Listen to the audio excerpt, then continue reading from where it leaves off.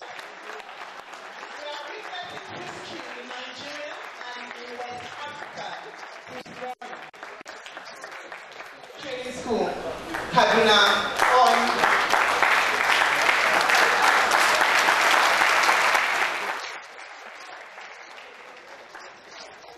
Congratulations,